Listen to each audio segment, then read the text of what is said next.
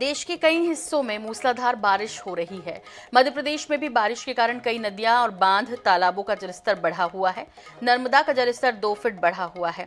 दूसरी नदियों और बांधों में भी लगातार पानी का लेवल बढ़ रहा है। रतलाम में गुरुवार रात हुई भारी बारिश से घरों, दुकानों में पानी भर गया। सुबह बारिश थमने के बाद लोग पानी निकालने में जुटे रहे। रायसेन के सांची में एक स्कूल के रास्ते में तीन फीट तक पानी भर गया। राजधानी भोपाल में भी झमाझम बारिश हो रही है। आज इंदौर, भोपाल, जबलपुर, नर्मदापुरम, सागर संभाग समेत 22 जिलों में तेज बारिश का अलर्ट है। छत्तीसगढ़ में भी लगातार बारिश से नदी नाले उफान पर हैं। बिलासपुर, कोटा, कस्टोल बलौदा बाज़ार और दंतेवाड़ा समेत कई जिलों में जल प्रलय देखने को मिल रहा है।